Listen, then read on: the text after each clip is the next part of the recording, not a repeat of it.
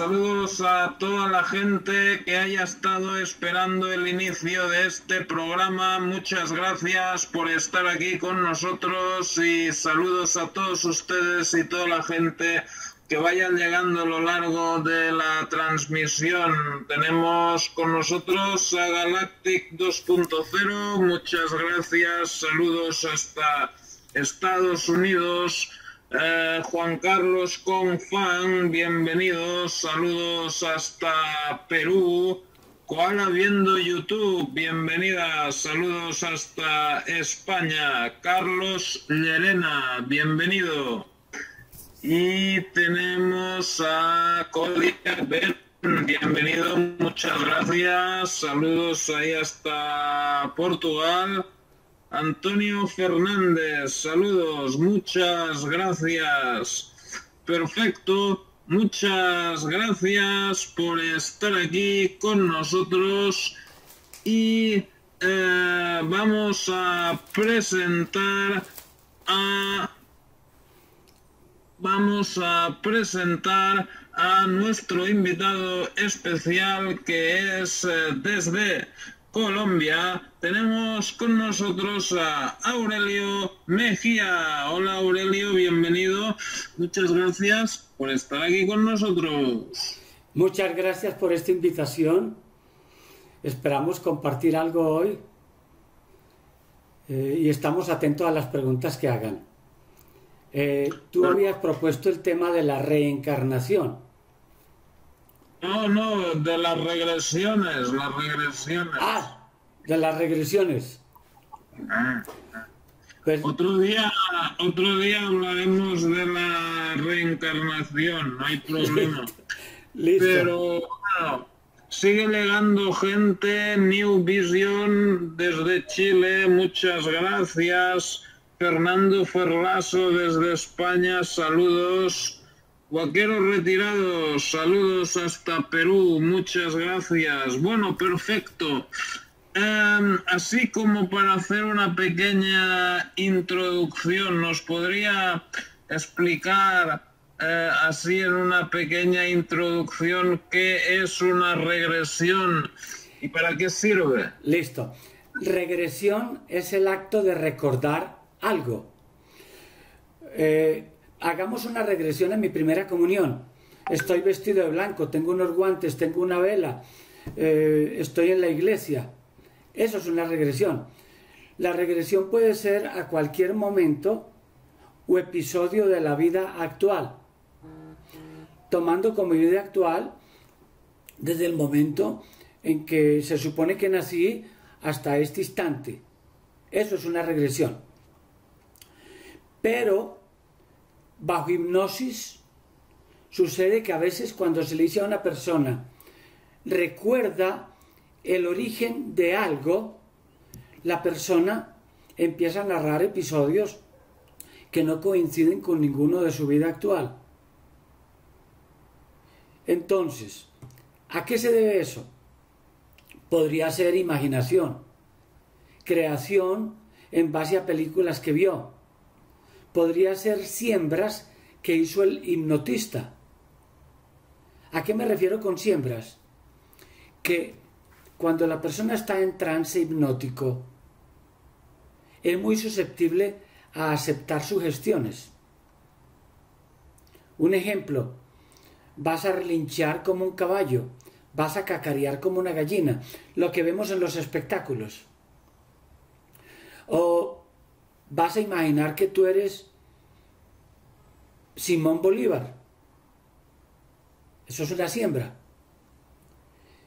Pero puede suceder que ese falso recuerdo tenga avisos de autenticidad, que se puedan comprobar fechas o nombres, que también tendría explicación, ya que la persona es sumamente culta y ha leído bastante del tema. Pero ha sucedido en las hipnosis, no en todas, en que la persona desconoce un idioma y en ese momento lo habla, o desconoce los hechos históricos y los dice con detalles. Entonces viene la pregunta, ¿Esos son recuerdos de qué? Una explicación sería desde el punto de vista genético, que un ancestro, abuelo bisabuelo, en momentos de intensa emoción, viajando por otro país, o alguna pena que tuvo, plasmó eso en los genes, en la memoria biológica que tenemos. Y esa memoria biológica o genética se recibe por herencia. Hoy la tengo yo. Y por algún proceso desconocido para mí, activé el reproductor genético. Así como puedo activar el reproductor de compact disc o el de cassette o el de USB. Y empiezo a narrar experiencias que en mi vida actual no han sucedido pero al verificar resulta que en la vida de mi bisabuelo sí. Eso sería una regresión a la supuesta vida pasada de mi bisabuelo, recibida por orden bioquímico, genético. Pero ha sucedido que no hay explicación de recepción genética no es una regresión siguiendo una cadena biológica en mi caso. ¿Por qué? Lo que yo estoy narrando resulta que corresponde a una persona que nunca se casó, murió niño, no tuvo relaciones ni sociales ni sexuales. Entonces, ¿dónde estaría la cadena genética que explique eso? Entonces es ahí cuando recurrimos a otro concepto, la memoria extracerebral. Memoria cerebral, la que corresponde a mi órgano, mi cerebro, la que se traduce en unos procesos mentales. Pero si ese suceso no fue improntado en mi cerebro, con hechos de mi vida que yo conozca, entonces están en alguna otra dimensión, en algún otro espacio, en alguna otra memoria que no es la cerebral. Y por ahora la vamos a llamar extracerebral. Entonces la pregunta que sigue es, ¿y entonces dónde está esa memoria extracerebral? Tenemos que recurrir a otro principio, porque en eso se basan los científicos, en ir enunciando teorías y después tratan de demostrarlas. Si la demuestran ya se convierte en ley, mientras tanto no. Entonces, asumimos que esa memoria la trae un principio vital que en religión se llama alma o espíritu. Y ese espíritu trae esa memoria. Pero entonces viene la otra pregunta, ¿de dónde viene ese espíritu? Si ese espíritu aceptamos que estaba por fuera de mí antes de yo nacer, para él traer esa memoria, ¿dónde estaba? Si esa memoria corresponde a unos sucesos históricos, pues se supone que estaba en otro cuerpo. Y ahí entra un tema que al principio dijimos que no íbamos a tratar, pero va a tocar por lo menos mencionarlo encarnación y reencarnación. Ese espíritu estaba en otro cuerpo y allí recibió esa memoria. Y ya en la dimensión espiritual propiamente dicha, se conecta en un momento dado con mi nacimiento, con mi cuerpo. O sea que ese espíritu reencarnó. Ahora tomó la carne, el cuerpo de Aurelio. Conclusión para tanto hablar. La regresión es el acto de recordar sucesos de la vida actual o de una supuesta vida anterior. ¿Y para qué sirve? Mm. Supongamos que yo quiero reparar un aparato. Hagamos de cuenta este.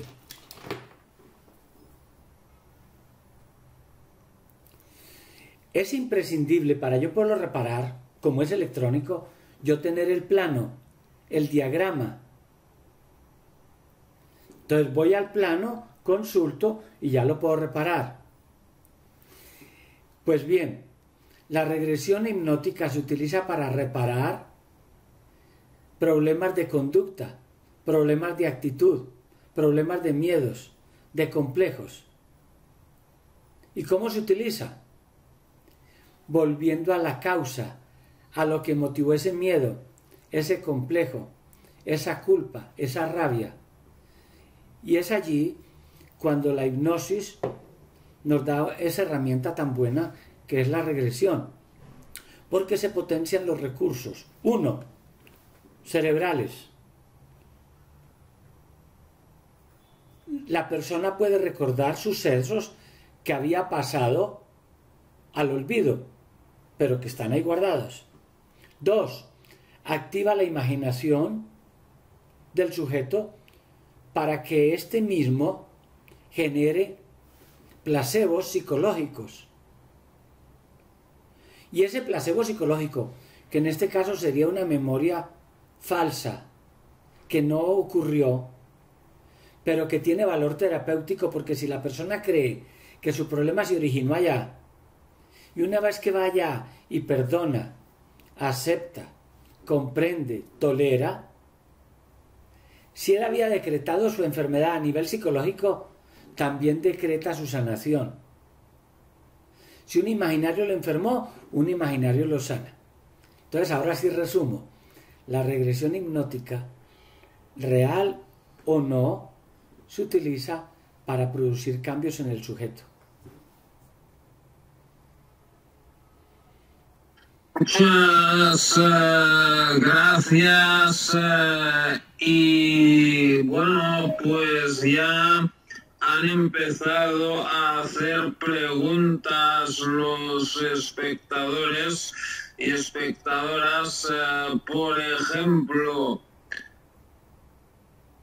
Nikita pregunta, ¿cómo el especialista y el hipnotizado pueden discernir eso que explica? Entre la imaginación y un recuerdo real? Eh, es relativamente fácil. Hagamos de cuenta que tú no sabes cómo funciona Google, el buscador. Pero tú tienes una tarea que hacer y es encontrar la historia de Holanda. Tú entras y pones historia de Holanda y Google hace lo que tiene que hacer y te trae fotografías, te trae quienes lo fundaron, etc. Aquí ocurre algo similar. Este cerebro que fue capaz de diseñar a Google tiene toda la potencia y más de Google. Y cuando el hipnotista o terapista le dice, encuentra el origen de tu pánico a las ratas, en fracción de segundos, estando en hipnosis, lo encuentra se va al momento en el que era niño, era muy pobres, vivía en una casucha, a la orilla de una quebrada, de la quebrada salían ratas, a veces entraba a la casa. Y un día una rata, él cree que lo persiguió por la alcoba, y de ahí venía ese pánico. Entonces, el, el, el acto de la Terapia regresiva es decirle a la mente no consciente del sujeto que encuentre o que imagine la causa de su problema. Y funciona. Y una vez que la encontramos, ya trabajamos según el caso. Si hay que perdonar o si hay que hacer un cambio de roles para que se pongan los papeles del otro y entienda por qué actúa así. Pero explicarlo ahora no hay necesidad porque yo tengo más de 5.000 videos compartidos en YouTube, donde lo pueden ver en directo autorizado por los pacientes. Distintos casos. Siguiente pregunta. Perfecto, muchas eh, gracias, eh, este Aurelio. Y otra pregunta que tenemos aquí es del huaquero retirado y dice, ¿por qué es posible el estado hipnótico para recordar lo que normalmente no se recuerda? ¿Cuáles serían esos mecanismos que lo permiten? Mira, el cerebro es muy sabio. Igual que tú tienes una enciclopedia en la biblioteca de tu casa y tú no estás accediendo a esa biblioteca en todo instante porque perderías tiempo del presente, accedes a ese libro solamente cuando necesitas consultar un tema específico y te vas al índice del libro. Igual aquí, cuando decimos que la persona no recuerda, no es que lo haya borrado de su mente, no, está ahí. Lo que pasa es que no lo accede, no lo consulta, porque de momento el cerebro en su sabiduría determina que no hace falta en este momento, porque tiene otras cosas prioritarias, importantes. Entonces, ¿para qué recordar lo que le sucedió cuando tenía 4 o 5 años? 10. Si lo necesitara recordar, lo puede recordar, que es lo que hacemos con la hipnosis. Con la hipnosis somos como el asistente, el ayudante, que le ayuda a consultar el índice. Y le dice, vaya a la página 32, que allí está la causa de su problema. En realidad lo estoy diciendo así, pero no es así. Es la misma persona la que encuentra el índice y encuentra la página y encuentra dónde está su problema. El terapeuta solamente le dice, ubica el origen de tu pánico a las suegras. Ya está. Es el viejo este norteamericano. Soy hombre. Hay una gorda detrás de mí que me pone algo muy frío en mi espalda. Es el cañón de un revólver Smith Wesson. Y me dice que si no me caso con su hija que embaracé, muero de plomonía.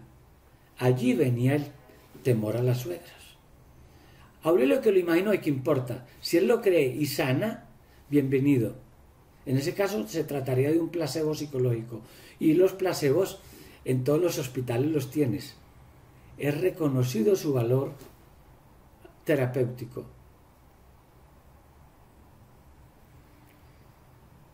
Pregunta. Muchas gracias, eh, Aurelio. Teníamos otra pregunta de el huaquero retirado que es eh, esta.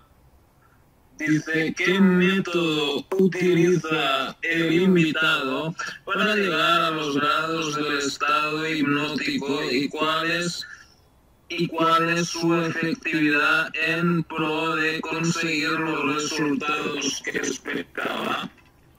Mira, eso de los grados hipnóticos es un mito por el que yo nunca pasé, afortunadamente, si no estuviera enredado en eso. Eso sería como decirle a una persona que quiere aprender natación que tiene que pasar por varios grados de profundidad en el océano. Pero ¿quién determina los grados? Si el océano no tiene escalones. La profundidad del océano es como la sombra del sol cuando éste declina en el horizonte. El trance hipnótico se produce todos los días en nuestra actividad diaria. Expliquémoslo un poquito. Los estados de conciencia más conocidos, los habituales, son el de vigilia, que para el pueblo sería despierto, y el de sueño, a nivel popular es dormido. Entre despierto y dormido hay cantidad de estados intermedios naturales. Uno de ellos, la somnolencia. Ay,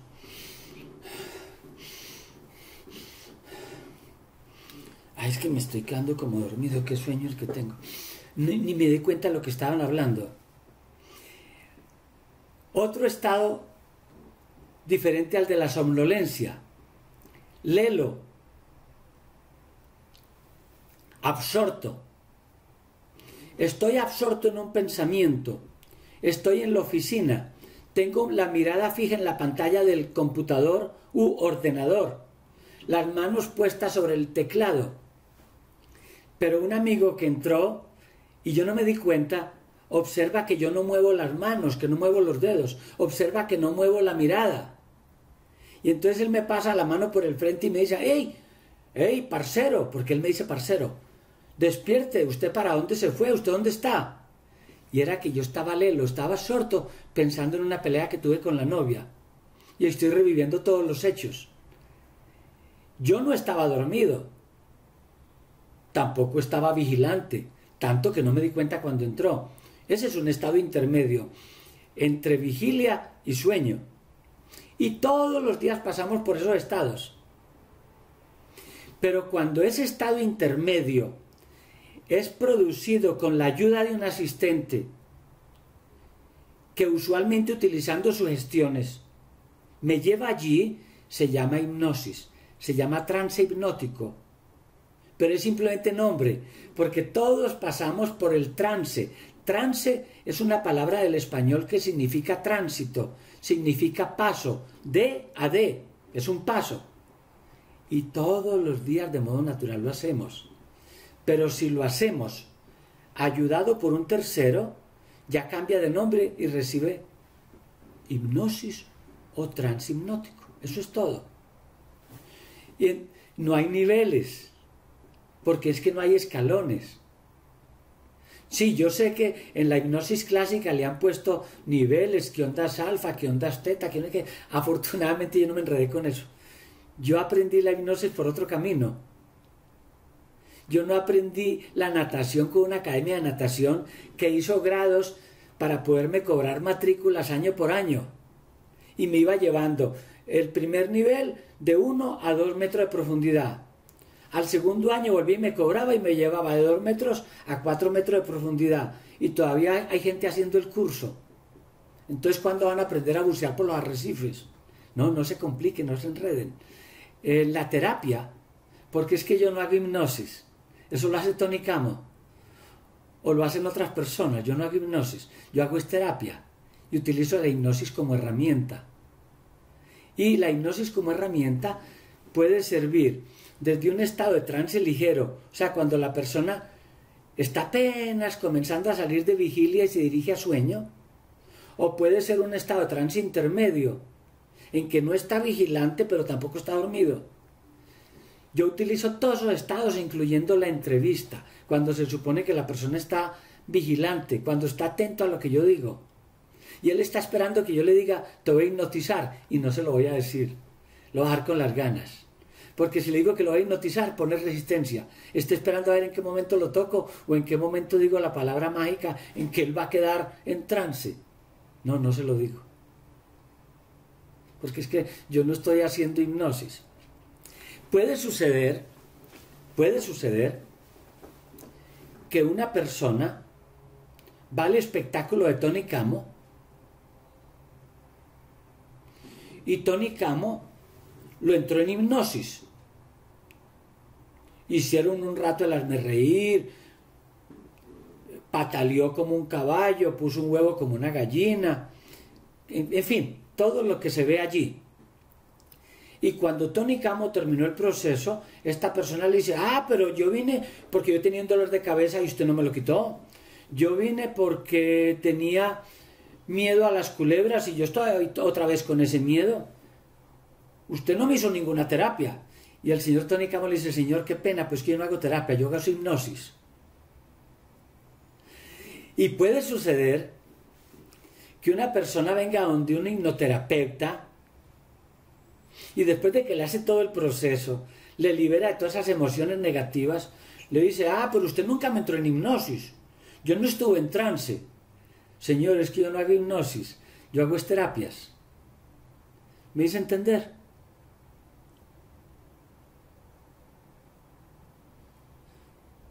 Bueno, ¿por qué se quedaron tan callados todos? Me dejaron hablando solo. Muchas gracias. Eh, y bueno, había otra pregunta ahí que decía, ¿es posible que el inconsciente del paciente se niegue a seguir la instrucción y buscar el recuerdo? Perfectamente, perfecta, lo puede hacer. Mira, cuando yo estaba niño, tenía dolor de muelas. Mi mamá me llevó al odontólogo. Cuando ya estaba en el consultorio y que vi que me iban a sentar en esa silla y que vi ese aparato que zumbaba, abra la boca. Y yo no la abría. Que abra la boca, me decía mi mamá, y yo no la abría. El médico con esa jeringa de anestesia me la mostraba y me decía, abra la boca, y yo no la abría. Y yo, eh, diciendo así, tapándome la boca, le digo, es que ya no tengo dolor de muela, ya se me quitó. ¿Qué quiere decir? Que para que le hagan un proceso, un tratamiento a alguien, tiene que colaborar, tiene que abrir la boca. Y puede suceder que la persona o cambia de parecer porque vio que realmente no valía la pena el motivo por el que consultó, o le dio temor de decir un secreto que tenía y que de pronto el hipnoterapeuta se lo liberara de ahí delante a las personas que llevó para que lo acompañaran. O puede suceder que fue motivado por la novia que le insistió para que dejara de tomar el licor o fumar el cigarrillo. Y entonces estando allí, viendo que, que no va a entrar en hipnosis porque no va a colaborar, decide, no, don Aurelio, sinceramente, yo no necesito esto. Y me ha ocurrido. Entonces sí, lo que tú dices es cierto, puede suceder. Ok, muchas eh, gracias. Eh, a ver, otra pregunta que tenemos es de vaquero retirado. ¿Qué posibilidades hay de que mediante la hipnosis regresiva el paciente mienta? ¿Hasta qué punto el hipnotizado es sugestionable? Perfecto. Puede suceder que mienta. Si lo hace en estado consciente, también es posible que como él está ya tan acostumbrado a decir mentiras, ya no conoce bien el umbral entre la veracidad y lo no. Y lo puede hacer. Por eso la hipnosis no sirve en un juicio. Porque así sería muy fácil. El juez le pide a un hipnotista que hipnotice al reo y le pregunte si él cometió el delito. Como la persona no está inconsciente como no está dormida, sino que está en un estado intermedio entre vigilia y sueño, puede mentir. Pero la pregunta es, ¿alguien va a donde un terapeuta le paga por la consulta para decirle mentiras? ¿A quién está engañando? ¿Al terapeuta? ¿Para qué? Si cuando se despidan el terapeuta no lo vuelve a ver. Se está diciendo mentiras él mismo y está pagando por eso. Y hay gente que lo hace.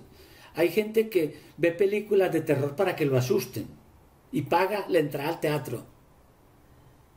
Pero no es muy común que mienta en una hipnosis. Pero sí puede suceder. Muchas gracias. Eh, y la, la, a ver si hay alguna. Ok, saludos a la gente que va llegando. Audio investigador, saludos ahí hasta México. ¿Quién más? Bueno. Um, las regresiones normalmente que es uh, lo que más quiere los, recuerdos que más quiero recuperar la gente. Como dijiste recuperar, puede suceder que la persona perdió algo y no recuerda dónde lo puso. Entonces puede consultar con la esperanza de que en la hipnosis le van a decir dónde tiene ese tesoro que ya olvidó si es de recuperar. Pero también lo que más consultan es para sanar depresión. Muy común. Tristezas. Un poquito menos, rabia, rencores, corajes, enojos. También culpas, abortos o algo que sucedió a una persona que tuvo un accidente y él se considera que tuvo que ver con eso. Raras veces consultan para saber quién fue en una supuesta vida pasada. O sea, por curiosidad, asumiendo que eso es cierto. Porque también, ya lo dije al principio, puede tratarse de un placebo. Eso es lo más común.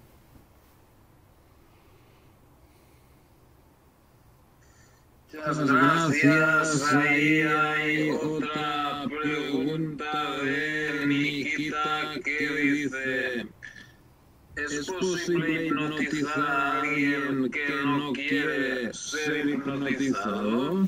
Esa respuesta la di cuando la persona fue al odontólogo y no quiso abrir la boca. Es imposible hipnotizar a alguien que no quiere ser hipnotizado. ¿Y por qué? Muy fácil. El hipnotista le dice cierre los ojos, no los cierra. O el hipnotista le dice piense en un momento triste. Y la persona dice, no, yo voy a pensar en un momento alegre. Pero no lo dice, pero lo piensa. Y empieza a pensar otra cosa distinta. Entonces no entra en hipnosis. Y una persona que fue llevada obligada, menos no colabora. La hipnosis no es un poder que tenga el hipnotista para vencer la voluntad del sujeto, no.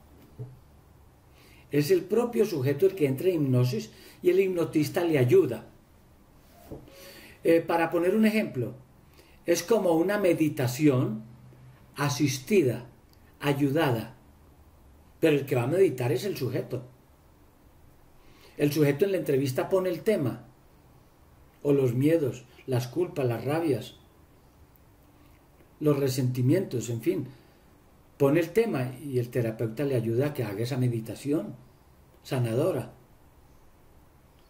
Entonces, por eso ya a veces ya ni menciono la palabra hipnosis.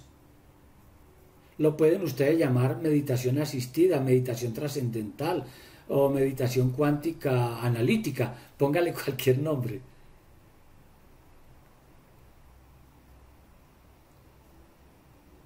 Muchas gracias. A ver, Vaquero Retirado pregunta, ¿hasta qué etapa de la vida es posible recordar con las regresiones? Todas las etapas.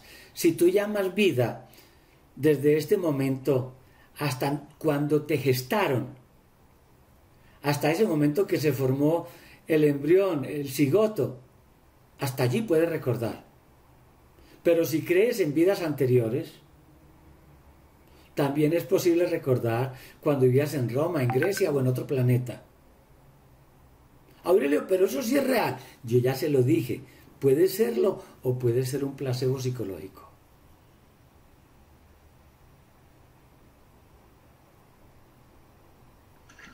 Muchas gracias.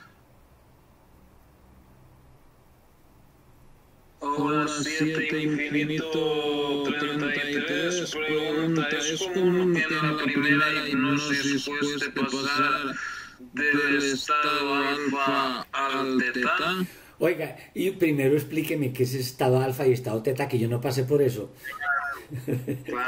Yo ya se lo dije en cierto momento. Yo seguí otro camino de la hipnosis. Yo aprendí una hipnosis más sencilla, más conversacional, sin enredos de alfas.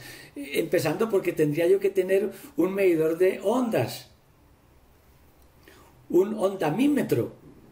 ¿Y dónde saco yo un ondamímetro ahora a un ondámetro? ¿Y qué me gano con eso? La persona no tiene idea de eso tampoco. Yo que le hago para convencer al paciente de que él estaba en ondas teta.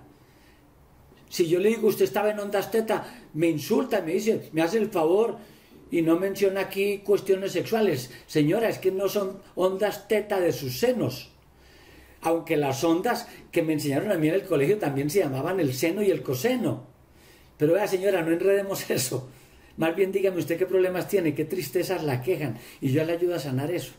Y por ahora olvidémonos de ondas.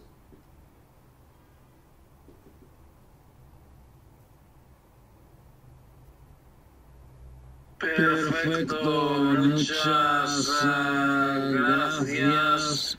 Y bueno, el tema cuando hay cuestión de abducciones extraterrestres y todo este rollo.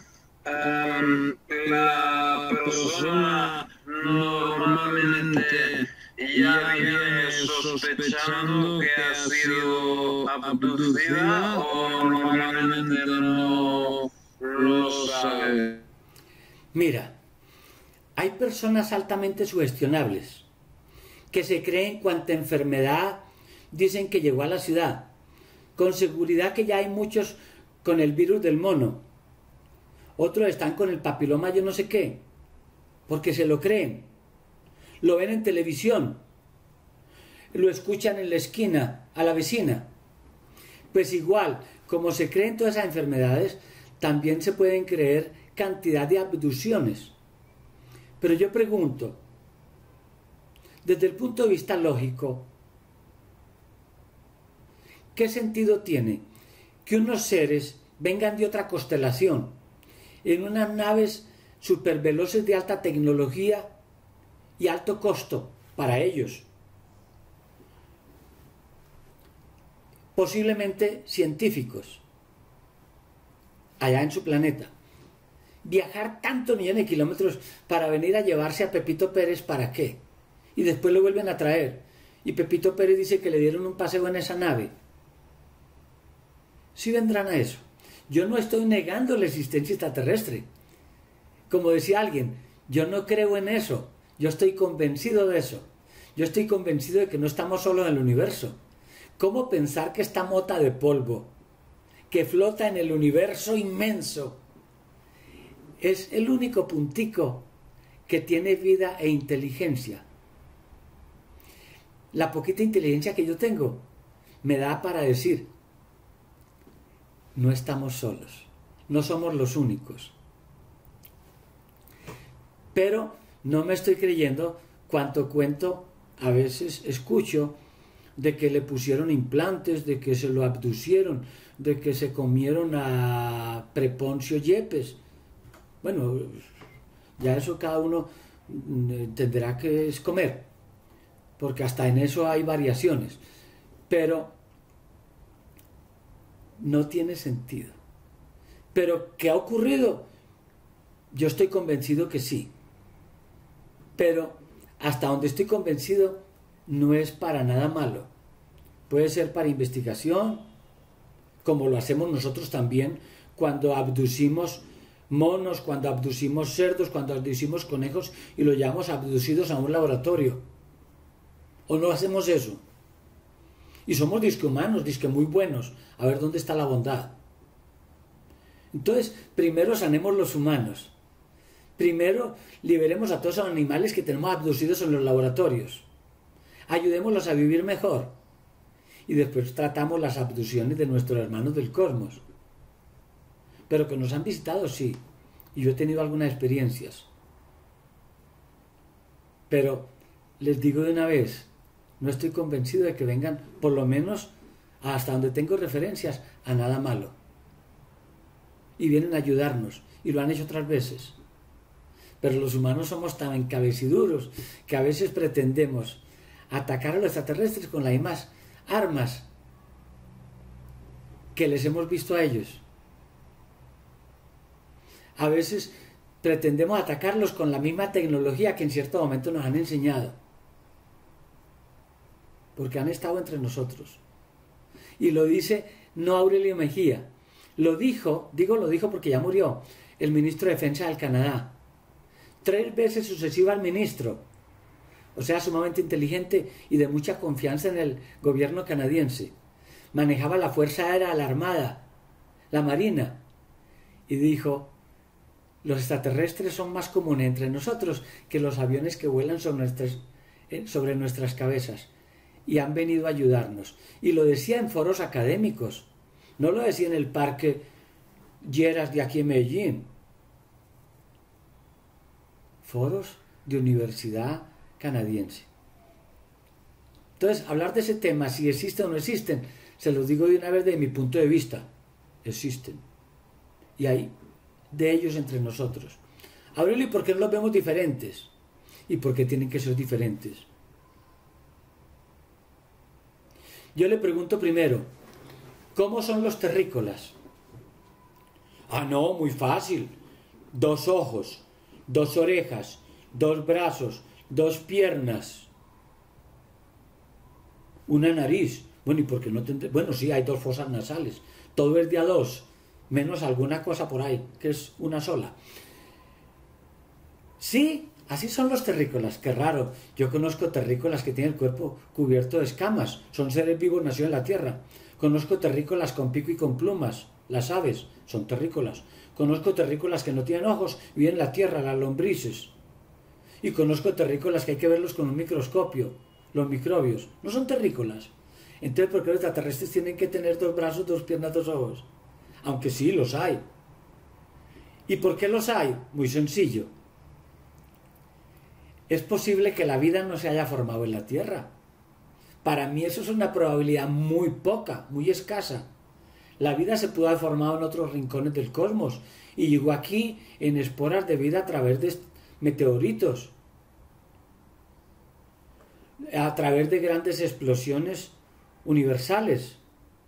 Llegó aquí la vida y se ha ido modificando aquí adaptándose a las circunstancias terrícolas. O si no, ¿cómo se explicarían las razas? La raza negra, la raza blanca. O si no, ¿cómo explicaría que unos son bajitos que otros? En fin, hay muchas variaciones en los terrícolas. Los pigmeos. Sí, yo sé que algunos hablarán de afectaciones a nivel de genético.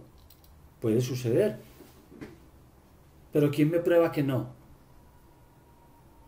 Entonces, yo voy a hacer una aseveración. Los extraterrestres existen. Y si alguien se atreve a demostrarme que no existe, que me dé argumentos, que yo soy inteligente y creo entendérselos. Pero me lo tiene que demostrar que no. Háblele, pero usted tampoco puede demostrar que sí. Y yo qué interés tengo en demostrarle a usted que existen extraterrestres. Yo creo en lo que cree, usted crea en lo que usted crea. ¿y los implantes qué? Los terrícolas ponemos implantes. Bongo, el perro que teníamos aquí en la casa, que ya se murió, le habíamos puesto un implante que era como un granito de arroz donde estaba el nombre de él, la dirección, el teléfono, por si se perdía. Y con un lector de implantes, que en este caso se llama lector de chip, o se lo voy a decir en inglés, RFID, RFI, que quiere decir identificador de radiofrecuencia extraíamos la información de, del perro, del gato, de la lora. Facilísimo, un implante. Entonces, ¿por qué seres muy avanzados del universo no pueden venir aquí en plan investigativo y ponernos implantes? Pero no es que lo estén haciendo a diario con todas las personas. No. Son más los que creen que tienen implantes que los que realmente los tienen.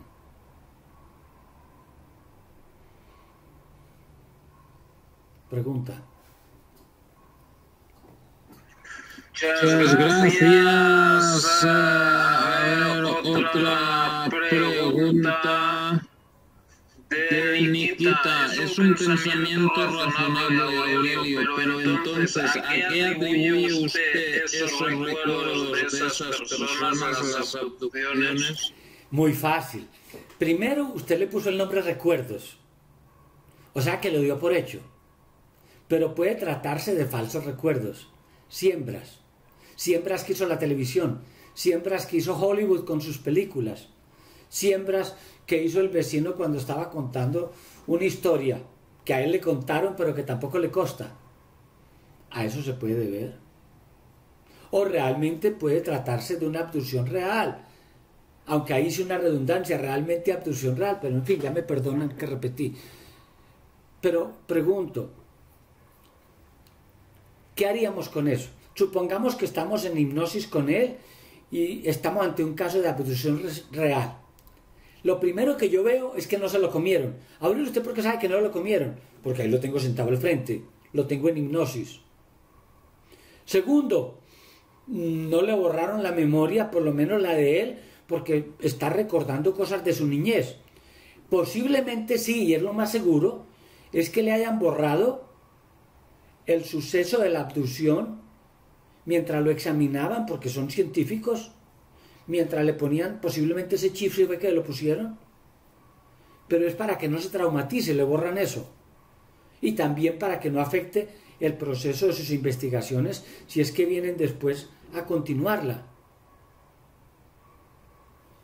Pero no todo lo que brille es oro, decía mi abuelo. Entonces no todo lo que alguien dice, estoy abducido, estoy implantado, es real. Puede tratarse de un falso recuerdo. Pregunta. Pero, por, otra, parte, usted, cree en las, eh, la, reencarnación. Entonces, um, ¿qué le prueba usted a usted que la reencarnación es real y no son falsos recuerdos? No, mira. Una cosa es historia y otra cosa son historias. La historia entra en el campo de la ciencia, que se puede probar. Las historias en el campo de la mitología, las leyendas, los cuentos.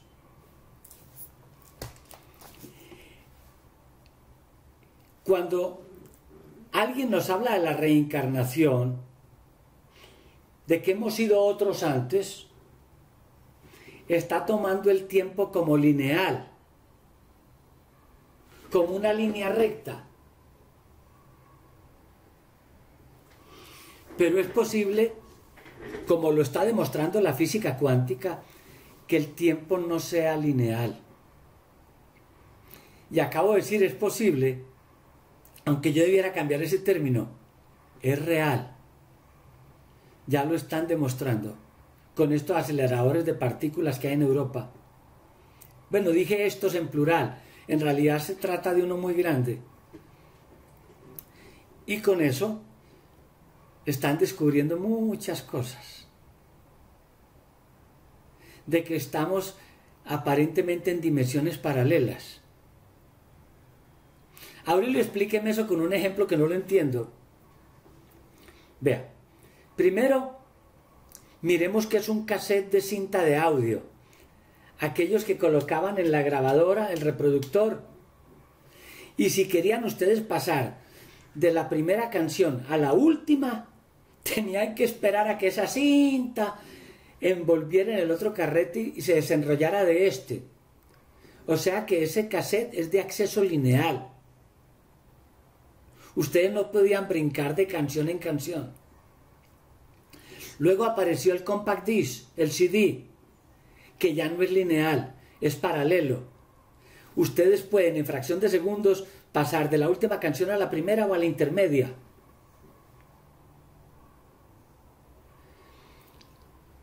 Aurelio, ¿y eso qué nos permitiría? El CD nos permitiría, si tenemos el circuito, tocar en simultáneo varias canciones. Si es que yo tendría varios oídos para escuchar selectivamente. Sería posible. El cassette no. El cassette es lineal. Pues bien, si el tiempo no es lineal, ¿qué significa? Que si una persona está quieta y mira el reloj y transcurre una hora para esa persona, pero si hay otra persona que da vueltas alrededor de él a una supervelocidad, digamos que mayor que la luz, cuando mire el reloj, para el otro pasó una hora, para este pasó un tiempo completamente distinto.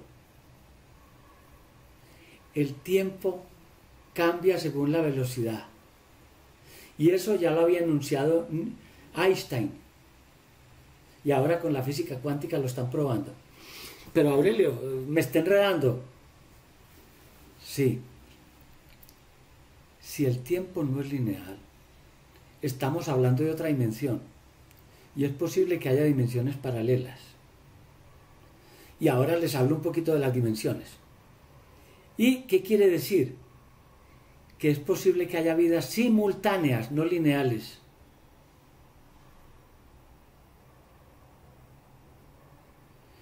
Y es posible que con la imaginación yo también cree en falsos recuerdos otras vidas que no serían reales. Aurelio, pero es que ha habido pruebas de la reencarnación, porque usted mismo lo ha dicho, que hablan otro idioma que se llama xenogloxia, ese fenómeno, o que acceden a recuerdos que después se prueban que sí los hubo. Sí, yo sé que desde el punto de vista religión, esa sería una prueba, aceptar que existe la reencarnación.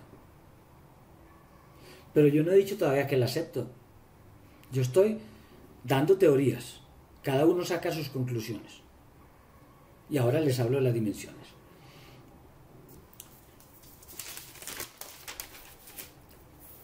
Supongamos que lo de la regresión, la reencarnación, perdón, es un plan divino.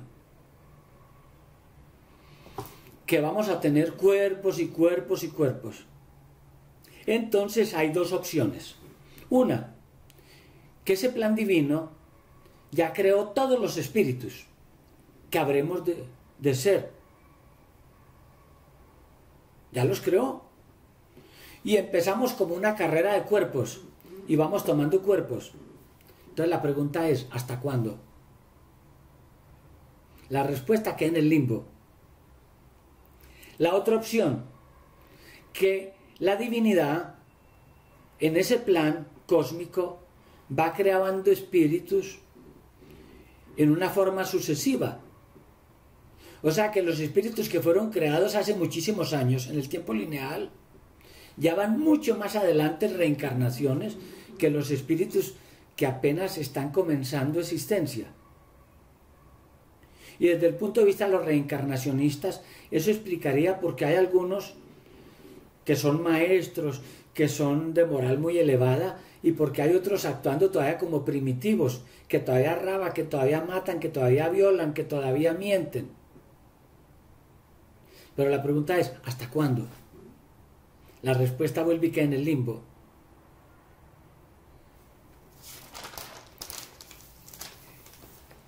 En cambio, si lanzamos otra teoría, la de la física cuántica, de que hay dimensiones paralelas, ya por lo menos sería más fácil de aceptar. En el caso mío, esa reencarnación lineal me cuesta mucho aceptarla, porque yo soy muy lógico. Y yo no entiendo ese plan cósmico, ese plan divino, ¿por qué no nos creó de una vez como habríamos de ser? ¿Por qué tendríamos que empezar a aprender y aprender a través de cuerpos de carne? No tengo la respuesta. Pero ahora hablemos de dimensiones.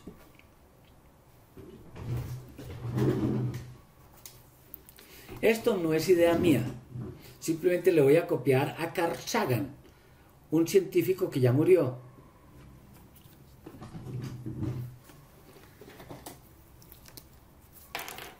Hablemos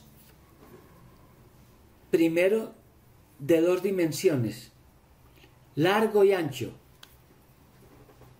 No hay alto. O sea que aquí tenemos cuadros, aquí tenemos círculos, tenemos triángulos. Y esto lo ponemos así. Recuerden, no hay altura. Solo son dos dimensiones, la primera y la segunda. La primera largo, la segunda ancho. Supongamos que llega a una tercera dimensión, la tridimensional. Por eso se llama tridimensional, tres dimensiones, largo, ancho y alto. Y vamos a imaginar que ese ser de la tercera dimensión, que es este, bueno, voy a poner otro distinto porque ese está muy negrito, no porque tenga nada contra los negros, sino porque de pronto no se ve bien. Llega este ser de tres dimensiones y quiere entablar comunicación con los seres que están en esas dos dimensiones que nunca han mirado para arriba porque para ellos el arriba no existe, solo largo y ancho. Y les habla. Estos seres de las dos dimensiones empiezan a escuchar voces, pero están aterrados, corren para todas partes, asustados. ¿De dónde salió esa voz? Ellos no pueden decir que salió de arriba porque para ellos no existe. Entonces, viendo este ser de la tercera dimensión, que los de las dos dimensiones están confusos, resuelve bajar y entrar a las dos dimensiones para que lo vean, pero observen lo que ocurre.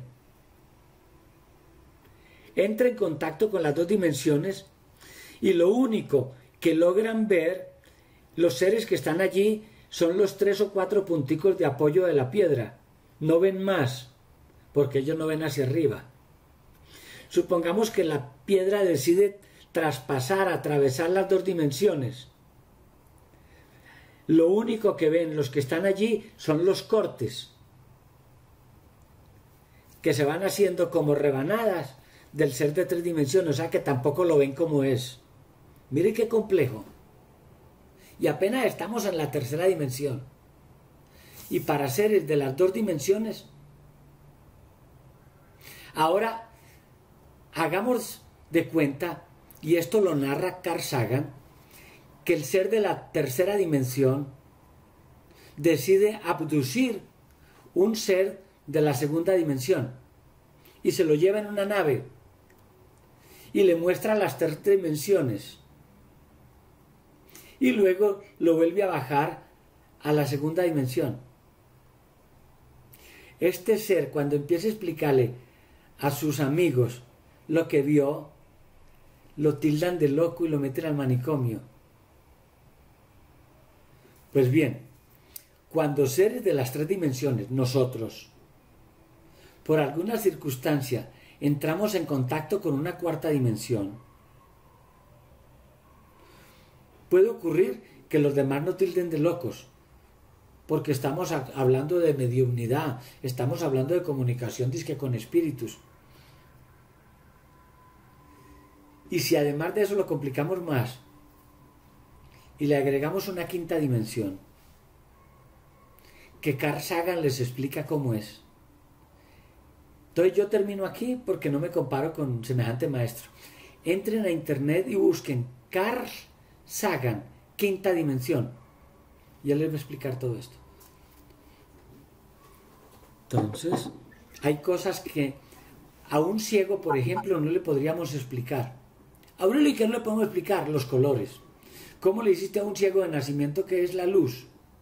Si él nunca la ha visto. ¿Cómo le dice que el color rojo, el color verde y el azul? Nunca los ha visto. Da, no bote corriente. No le va a entender. El ciego perdió una dimensión, la vista. Por lo tanto, hablarle de cosas de esa dimensión que él perdió, no lo va a entender. Entonces, conclusión, para los que hicieron las preguntas, no se enreden, no se compliquen. Vayámonos primero a solucionar lo del ser humano, las tristezas, los miedos, las culpas, los complejos, las enfermedades psicosomáticas. Y si ya lograron resolver todo eso, sí, estudien la quinta dimensión. Si logran pasar primero la cuarta,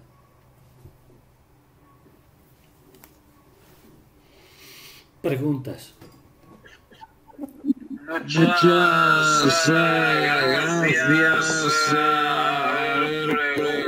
gracias. Retirado, dice, con las regresiones realmente recordamos tal como sucedieron las cosas, es decir, se guardan en el cerebro donde sea una copia fiel de lo sucedido. Mire, eso tendría dos respuestas. Que sí y que no. Que no, porque la realidad tiene dos maneras de enfocarse. Una es la realidad objetiva, las cualidades o propiedades que tiene el objeto como tal. Y otra es la realidad subjetiva, lo que a mí me parece que es, lo que a mí me parece como es.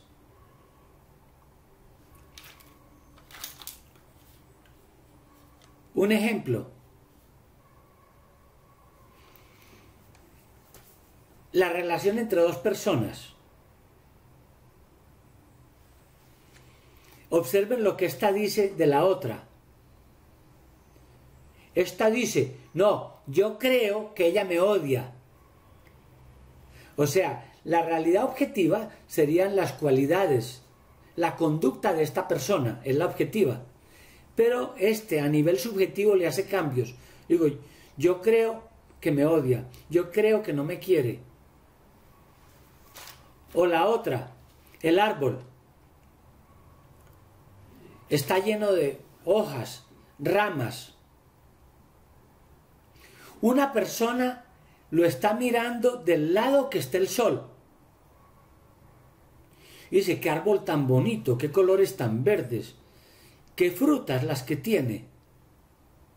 Pero otra persona que está en el lado completamente opuesto, a contraluz, dice, eh, qué árbol tan feo, qué árbol tan oscuro, tan negro, no se le ven ni las hojas ni los frutos. Yo pregunto, ¿quién tiene la razón? La realidad objetiva es el árbol. La subjetiva cambia según la posición que tenga. Entonces, en el cerebro podemos guardar lo que consideramos verdades subjetivas, lo que nos pareció cuando vimos los objetos, cuando vimos las situaciones.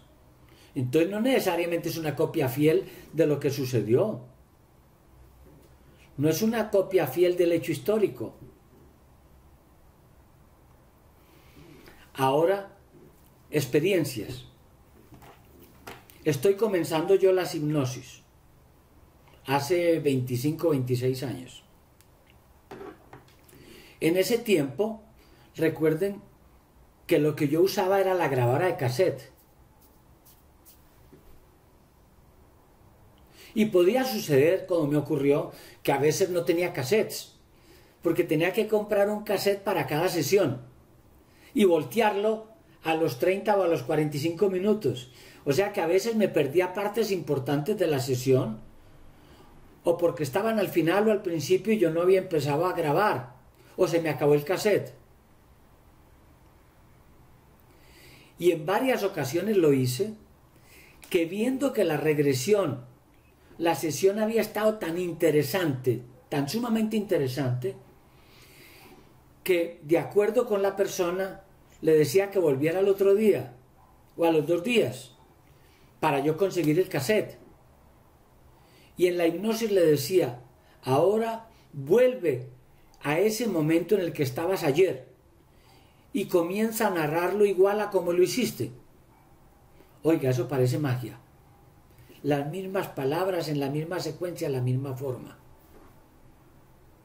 ¿Qué explicación tiene? El cerebro es maravilloso. Entonces sí, se va a llamar copia fiel lo que él guardó. Ahí está la copia fiel, pero puede no corresponder con la realidad objetiva. Pregunta. Muchas gracias, Aurelio. A ver, Paula 7 infinito 33 pregunta, ¿cómo saber si uno tiene implantes físicos y etéricos? ¿Dónde suelen localizarse los físicos? Vea, le respondo de una vez, usted no los tiene. Y si los tuviera, ¿para qué quiere saber eso? Si usted, por lo que yo veo, no está siendo afectado por nada. Más bien, en vez de buscar problemas, busque soluciones a lo que tiene. Mi abuelo decía, si buscas problemas los encontrarás. Más bien busca soluciones a lo que te afecta.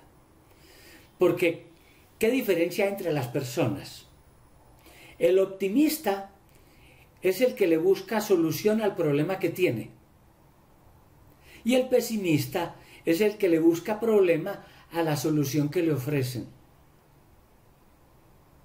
Entonces no creas en implantes, no creas en eso. Mi abuelo decía que hay brujas, las hay, las hay, pero no se debe creer en ellas.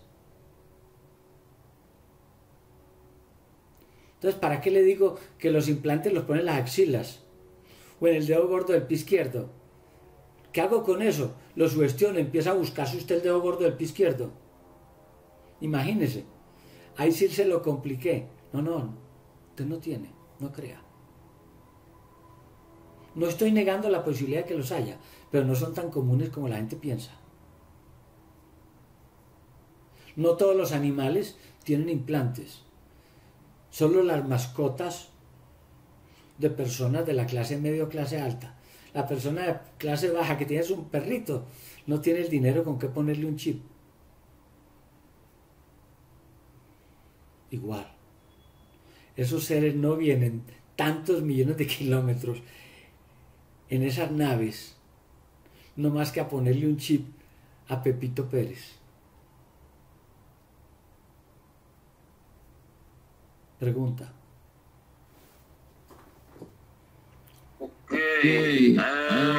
Pregunta de Nicaragua. Las enfermedades son implantes para succionar energía nuestra para estos parásitos que se alimentan del humano.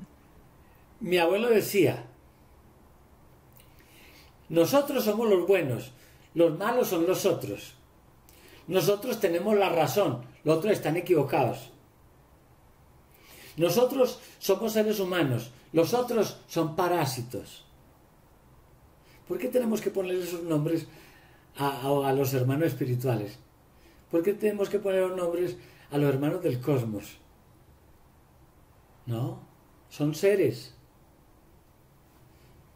Entonces yo no los denomino parásitos, seres. Y si queremos creer en espíritus, espíritus, que están en evolución. Pero yo tampoco les pongo el nombre de demonios. Menos. Yo soy el primero en retar a Lucifer, porque no creo en él. Para mí es un mito. Un mito que le dado mucho dinero a la iglesia y a los pastores evangélicos. Si no fuera por el demonio, muchos estarían manejando por ahí un Renault 4, una chivita vieja. No, gracias a Lucifer y Satanás tienen buenos trajes, buenos anillos y carros del año. Total que a mí no me digan que los curas y los pastores no quieren al demonio. ¿Cómo no, lo van a querer si es el mejor amigo? Pues bien, pero yo no creo en él. Entonces, no estén creyendo en eso. No se amarguen la vida. Primero sanen lo que tienen más cerquita. No busquen enfermedades donde no las hay.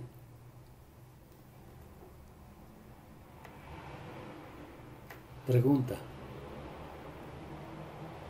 Muchas gracias, hermanas preguntas. El pregunta. Don Aurelio, ¿podemos tener una regresión o tener una regresión o hay ciertas personas que no. Te respondo. Yo ya expliqué al principio que regresión es el acto de recordar. O sea que si tenemos nuestras facultades cognitivas, podemos recordar todo sin excepción. Cosa diferente si la persona ya está sufriendo de Alzheimer. Cosa diferente si la persona sufrió un golpe que lo llevó a un estado de pérdida de memoria. Pero todos podemos recordar. Todos podemos tener regresión. Y para eso necesita hipnosis. Ya lo dije, no. La hipnosis es una herramienta de la psicología que potencia los recursos de memoria. Pero no es que sea lo único para tener una regresión o recordación. Incluso para que no se enrede, cámbiale el nombre, no lo llame regresión, llámelo recordación. Todos podemos tener recordaciones, sí. ¿Se necesita hipnosis? No. ¿Ayuda a la hipnosis? Sí. ¿Todo lo que se recuerde es real? No. Algunas cosas pueden ser falsos recuerdos, imaginación, mitos. Pregunta. Ok, muchas gracias. Otra pregunta de Elmer dice, Don Aurelio, ¿ha tenido la percepción que algo lo guía por algunos, algunas de sus casos o trabajos? Se lo digo sin duda. Sí. Pero eso sí lo digo, mm, si existe el 200%, se lo digo al 200%, sí. Mm, Me he considerado un afortunado, un privilegiado. Pero es cosa bien curiosa. Cuando necesito tiempo para algo, el tiempo me resulta. Cuando tengo algún enredo con algo, la solución me llega. Y nunca me ha fallado. Entonces sí, yo considero que estoy asistido. No me pregunte por qué o por quiénes, porque ya entraría al campo de la especulación. Pero sí. Aurelio será ese abuelo que usted menciona. Ese abuelo que yo menciono es un abuelo inventado, no es real. Mis dos abuelos, paterno y materno, nunca me abrazaron, nunca reconocieron lo inteligente que soy, nunca me dijeron que era tan hermoso, porque es que yo soy muy lindo. Yo le he regalado fotos a muchas de mis pacientes. A los muchos no, a las muchas. O sea que mis dos abuelos nunca me contaron esas historias, yo me las invento.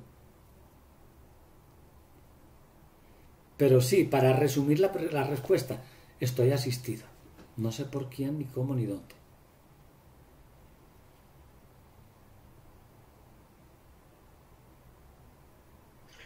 Muchas gracias.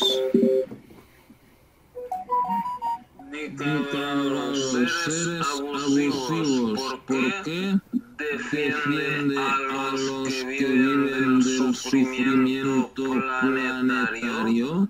¿Por qué se contradice? Ah, no, yo, no, yo pienso que no me estoy contradiciendo, pero si usted me demuestra que me estoy contradiciendo, se lo aceptaría si me lo demuestra. Primero, usted me tiene que demostrar que hay seres abusivos en el universo.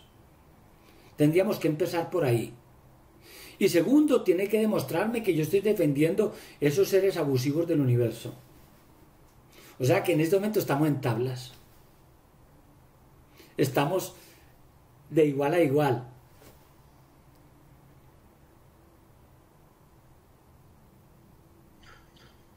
Ok, muchas gracias. Nikita pregunta, ¿con la hipnosis no es posible exacerbar traumas y que el, y que el, y el paciente quede peor? Sí, sí es posible. Y se lo explico con un ejemplo. Imagínese que en la selva del Mato Grosso, Brasil, hay una laguna de agua cristalina en la que nunca nadie antes ha estado. Y con un dron, una agencia de turismo se dio cuenta de su existencia. y programó allí un viaje turístico. Y en helicóptero llevaron a los primeros 30 turistas. Oiga, llevaron comida enlatada, llevaron bolsas plásticas, llevaron equipos de buceo. Se deleitaron todo ese día nadando en esa laguna aguas cristalinas. Alguien vio una planta muy bonita para su acuario y la arrancó. Otro vio una piedra que despedía como visos de colores y la sustrajo del fondo. Otro vio unos peces todos raros y se los llevó. Por la tarde, cuando ya tomaron los helicópteros de regreso, esa laguna quedó turbia. Habían enlodado lo cristalino del agua. Habían perturbado y dañado el medio ambiente. Dejaron bolsas plásticas, dejaron latas de Coca-Cola o de cualquier otra marca. Aurelio, ¿y cuánto tiempo dura el daño? Dura algunos meses o años mientras la manigua va absorbiendo todo lo que dejaron en las orillas, mientras el lodo se va sentando nuevamente y renacen las plantas que ellos arrancaron. ¿y a qué ves ejemplo? Que no es conveniente hacerse una regresión de memoria solo por curiosidad, por ver quién supuestamente fue antes, porque van a remover lodos de miedos, lodos de tristeza, lodos de angustia, lodos de culpas. ¿Con qué finalidad? Si es por curiosidad, no. Si es por terapia, sí. Hágalo. Pero no estoy diciendo que por terapia remueva los lodos que tiene allí, no. Cuando alguien tiene un tumor y determinan que es cancerígeno, o cuando alguien tiene algo que está afectando otro órgano, ese alguien autoriza al cirujano a que lo raje, a que lo corte, a que lo abra, a que mueva órganos, a que le separe las costillas. Pero es para extraer eso que si no lo hacen va a afectar de modo peor a la persona. Sí, yo sé que después de la cirugía viene la crisis curativa. Él va a sentir dolor en las costillas, él va a sentir dolor en el cuerpo, él va a sentir somnolencia, él va a sentir pero también va a notar que a medida que pase el tiempo va a haber mejoras, dependiendo del tiempo posoperatorio según lo que le trataron. Aquí es igual. Si esa rabia, si ese rencor, si esa culpa está produciendo otros daños a él mismo o al bebé que tiene en el vientre, lo más conveniente es abrir las emociones, remover para sacar eso. ¿Sí me hice entender? Muchas, gracias. Ahora más preguntas. Nicaragua. Ahora, Ahora no existen los ETs que no implantan. Se lo levanto con calógero grifasi. Mire, Primero que todo, si usted va a llamar a a los extraterrestres, yo en ningún momento he negado su existencia, al contrario, dije, creo al 200% en ellos. O sea que la primera parte de la pregunta queda resuelta. La segunda, Calogero Grifasi es un alumno, discípulo mío, colega, al que estimo muchísimo. Por lo tanto, entraría yo en debate con cualquiera, menos con Calogero, mi amigo, que lo he dicho en público, lo estimo muchísimo.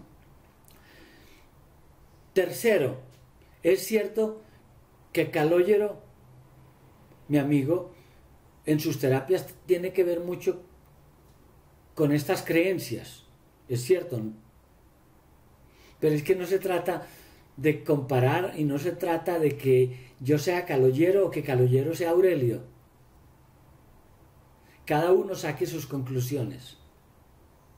Cuando usted lee un libro, Usted no está obligado a creer todo lo que el libro dice.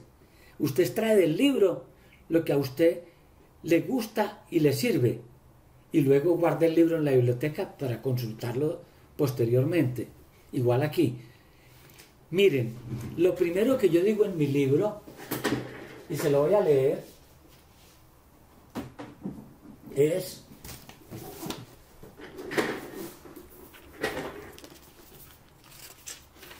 No creas ciegamente lo que leas en este libro ni lo que veas a primera vista. Recuerda que hay baratijas que también brillan como el oro.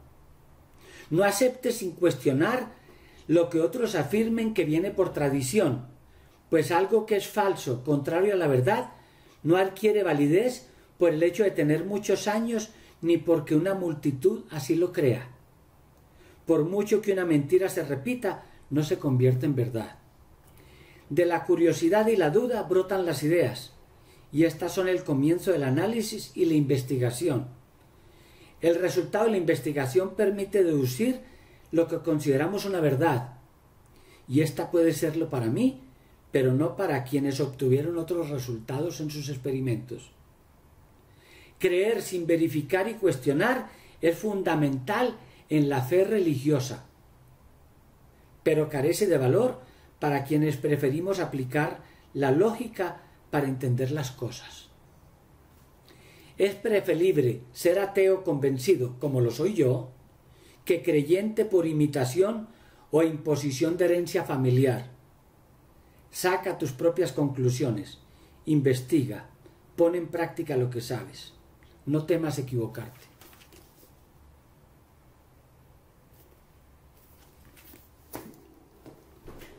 Preguntas. Gracias, gracias. A ver, otra pregunta. Hermandad Estelar.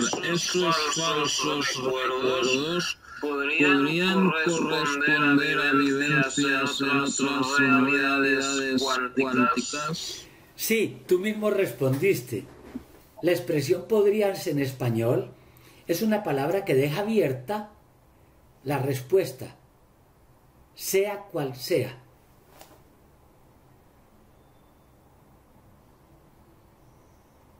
Preguntas. ¿Qué otra pregunta? Dorado pregunta. Calófero denunció lo que había detrás del sufrimiento humano, entes alimentándose de nuestros sufrimientos y contratos antes de nacer. ¿Qué opinan? No opino. Y ya expliqué por qué no opino. Primero, este es un programa con Aurelio Mejía y Tomás. Segundo, ya dije que Caloyero es un amigo al que estimo muchísimo. Pero eh, si es el caso, Tomás puede hacer un programa con mi amigo Caloyero si él acepta. Y ya él les hará demostraciones. Pero yo no puedo demostrar cosas en las que no estoy convencido del todo. Y muchas gracias. A ver qué más preguntas tenemos por aquí. El Don Aurelio, ¿qué tipo de meditación practica usted y nos puede recomendar? Mire, se la recomiendo. Yo practico la meditación dormir. Aurelio, ¿qué es eso? Los del grupo de hipnosis, cuando nos fuimos formando hace 20, 25 años más y menos, ellos, la mayoría, practican meditación, les gusta. Y nos reuníamos una semana en la casa de uno, otra semana en la casa de otro, otra semana en la otra. Y entonces, alguno dirigía la meditación. Yo no, porque yo no la sé hacer, no la hago. Entonces, el director decía, bueno, ahora agarrémonos de las manos, ahora pongamos la mano así, ahora hagamos yo no sé cómo, ahora cierren los ojos, ahora piense en una luz que baja por la coronilla, el séptimo chakra, y va bajando por la columna vertebral, y hacían todo ese recorrido, toda esa logística para meditar. Pues bien, cosa curiosa, cuando ellos terminaban de meditar, yo terminaba de dormir. Despertaba casi al mismo tiempo. Oiga, ¿cómo disfrutaba yo esas meditaciones? Me relajaba, descansaba. Conclusión, nunca en mi vida he meditado. No sé qué es eso, no sé cómo se hace, ni tampoco me interesa aprender. ¿Para qué? Si ya les dije, así vivo bueno, me siento asistido, me considero inteligente, eh, mi belleza nadie lo duda. ¿Para qué más?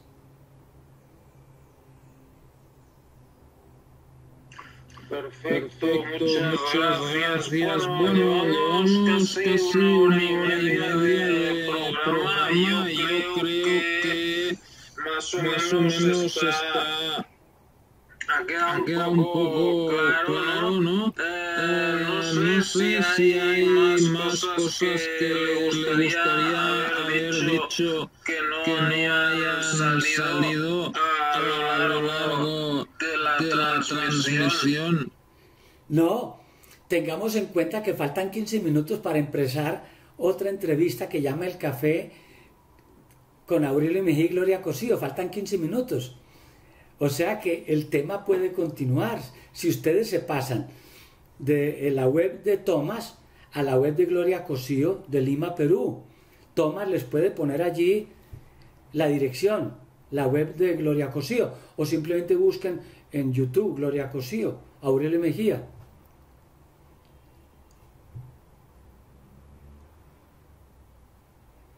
O yo le mando a Tomás, ya, ya se lo mandé, el link de lo del café con Aurelio y ahí continuamos. El tema hoy con Gloria Cosío, ahí lo tienen. Va a ser origen del bien y del mal.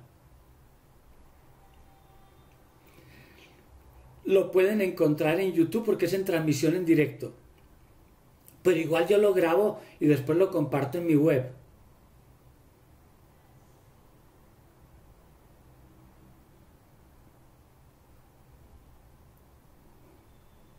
Ese, es el WhatsApp a donde hay que solicitar a donde hay que solicitar el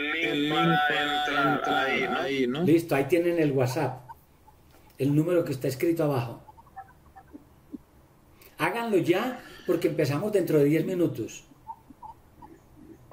Bueno, pues, pues entonces eh, terminamos ya. Y bueno, eh, si eso pues ya haremos más programas sobre estos temas y tal. ¿A usted qué le va bien los domingos? Los domingos. Los domingos. Por ejemplo, podría ser el domingo, 25, de septiembre, a la misma, hora, le iría bien. Por ahora dejémoslo así, pero la que me coordina la agenda de viajes internacionales es mi nuera. Puedes contactar con ella, Luz Miriam. Mañana, le escribo, un WhatsApp, y pregunto, ¿ok? Muchas gracias. Suscríbanse, a las redes sociales de Aurelio. He dejado todo ahí el otro programa y bueno, luego pueden ir a la continuación. Muchas gracias. Adiós. Me voy porque me van a colocar enseguida un implante. Adiós. Bueno, muchas, gracias, este, este Aurelio. Yo creo, que ha salido bastante bien, no sé qué le ha parecido. Yo pienso que sí, superar las dificultades técnicas que tuvimos al comienzo. Sí, bueno, eso, es normal, siempre, pasa. O, o, muchas, veces, pasa. Adiós.